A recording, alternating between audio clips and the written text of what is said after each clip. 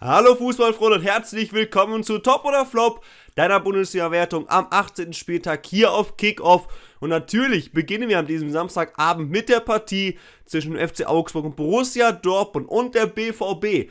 Konnte sich den vierten Platz zurückerobern, ist weiter mit dem Meisterschaftsrennen aufgrund eines 5 zu 3 Erfolges in Augsburg, den sie sich sehr, sehr hart erarbeitet haben. Ganz kurz, zum Spielverlauf. Augsburg gegen Führung durch Florian Niederlechner nach 34 Minuten und erhöhte Sekunden nach der Pause durch Marco Richter zum 2-0 nach wirklich fatalen individuellen Fehlern der Dortmunder, die wirklich heute im Aufbauspiel extrem schlecht waren. Aber es folgte eine schnelle Reaktion von Julian Brandt nach 49 Minuten, fiel bereits das 1 zu 2, aber Augsburg machte weiter und Niederlechner störte den Doppelpack nach 55 Minuten dann das 3 zu 1. Und dann kam er, der erhoffte Neuzugang Erling Haaland, schlug direkt zu. 59. Minute. Er machte den Anschlusstreffer zum 2 zu 3, wenige Sekunden nachdem er eingewechselt wurde.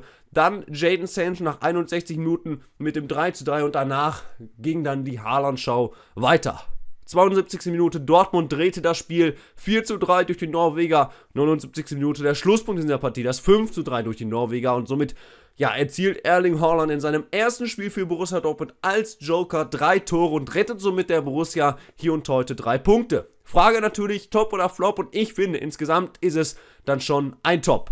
Natürlich hat Dortmund vor allen Dingen defensiv enorme Schwächen gezeigt, kein extrem gutes Spiel gemacht. Augsburg hat sicherlich von der Erwartung her ein wirklich gutes Spiel gemacht und Dortmund ein schlechtes, aber wenn man natürlich nach 3 zu 1 in der zweiten Hälfte noch so spielt und das Ding nur zu einem 5 zu 3 dreht, dann ist das eben auch verdient und somit sagt man dann, finde ich auch, dass es ein Top ist. Deine Meinung kannst du aber gerne in die Kommentare schreiben und dann sehen wir uns im nächsten Video wieder. Mach's gut, ciao, bis zum nächsten Mal.